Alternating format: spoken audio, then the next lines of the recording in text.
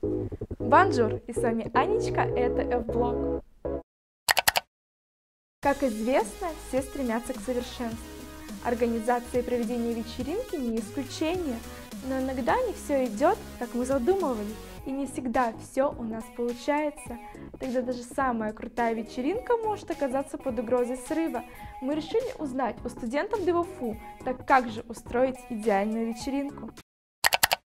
Главное позвать очень много хороших людей, чтобы было. Не было никакого, никого лишнего, а были все свои, и я думаю, что тогда вечеринка будет вообще на ура. Собрать близких друзей. Нет, на самом деле, можно собрать кого угодно. Главное, чтобы было весело. Ну, во-вторых, там помещение нужно выбрать хорошее, а, чтобы всем было там уютно и никто не потерялся в нем, ну, в смысле, в помещении. Ну, для идеальной вечеринки обязательно нужна хорошая компания. Не обязательно, чтобы были старые друзья. Хорошо, когда есть свежая кровь, тогда интересней, разнообразней.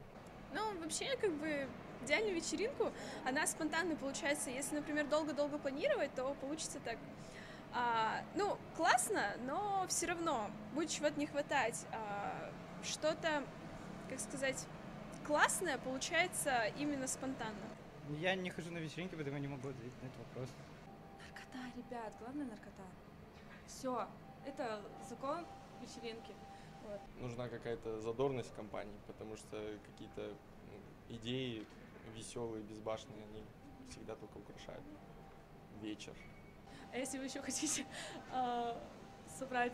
А, нет, подготовиться перед сессией и тоже устроить вечеринку, по-любому нужна наркота. Чтобы весело провести время с друзьями, большие деньги совсем не обязательны. Смекалка и творческий подход буквально творят чудеса. Однако психологи утверждают, что стремление к совершенству препятствует творчеству и является врагом достижения цели. И все же, что бы ни случилось, не вешайте нос и помните, безвыходных ситуаций не бывает. Ведь насколько вечеринка пройдет весело, зависит только от вас и ваших друзей.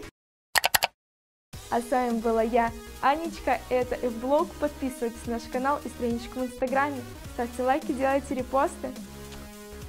Аривуар!